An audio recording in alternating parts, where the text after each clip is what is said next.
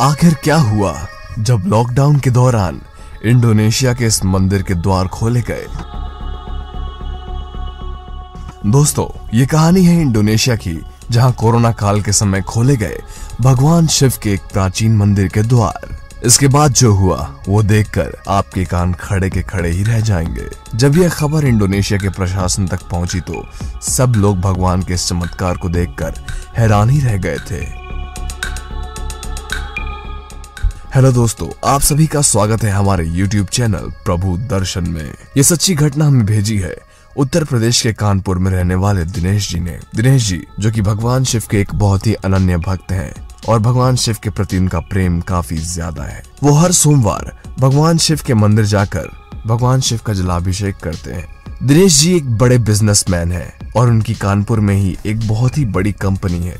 जहाँ उनके अंडर बहुत सारे कर्मचारी काम करते हैं। उनका यह कारोबार बहुत ही ज़्यादा प्रगति कर रहा था और वह अपने कर्मचारियों का भी बहुत सम्मान करते थे, जिस कारण उनका हर कर्मचारी उनसे काफ़ी ज़्यादा प्यार करता था और बहुत खुश था। दोस्तों, दिनेश जी के मुताबिक यह बात तब की है जब उन्हें अपने काम के सिलसिले में इंडोनेशिया जाना पड़ा था। और इस दौरान कुछ ऐसा हुआ जिसे देखकर सिर्फ़ वही नहीं, बल्कि आसपास के सभी लोग हैरान हो गए थे। दोस्तों ये बात है सन 2020 की, जब इंडिया में कोरोना की लहर नहीं आई थी और किसी भी व्यक्ति को इसका अनुमान भी नहीं था कि कोरोना महामारी इंडिया में भी आ सकती है। दिनेश जी बताते हैं कि काम के सिलसिले में वह इंडिया से बाहर इंडोनेशिया चला गया और इसी बीच कुछ ही दिनों में कोरोना का कहर भारत ही नहीं, बल्कि बल्कि भारत के पड़ोसी देशों तक भी पहुँचने लगा था। धीरे धीरे इन देशों की सूची में इंडोनेशिया भी जुड़ गया। जिस कारण भारत ही नहीं, बल्कि इंडोनेशिया सरकार ने भी परिस्थितियों को देखते हुए लॉकडाउन की घोषणा कर दी, जिस कारण उन्हें कई दिनों तक वहाँ रुकना पड़ा।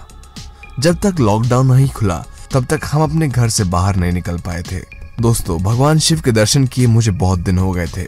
हमारे घर के पास एक भगवान शिव का प्राचीन मंदिर था, मगर लॉकडाउन की वजह से वो अभी खुला नहीं था। और बंद ही था। मैं भी लॉकडाउन खत्म होने का इंतज़ार कर रहा था, ताकि भगवान शिव के इस भव्य और प्राचीन मंदिर में स्थित भगवान शिव की इस मूर्ति का दर्शन कर पाऊँ। करीब 20 दिन बाद जब लॉकडाउन के साथ साथ मंदिर के द्वार खुले तो कुछ ऐसा चमत्कार हुआ, जिसे देखकर पंडित जी भी हैरान हो गए थे।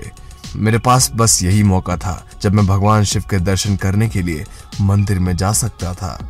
उसी दिन सुबह साढ़े पाँच बजे मैं मंदिर में प्रवेश द्वार पर इंतज़ार करने लगा।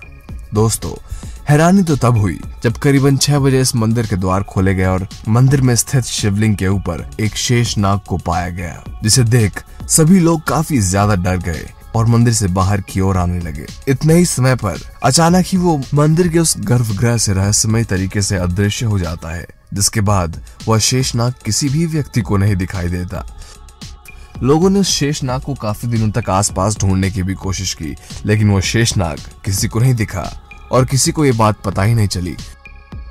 अगर आपके साथ भी कोई ऐसा इत्तेफाक या चमत्कार हुआ है तो नीचे कमेंट सेक्शन में हमें लिख भेजिए।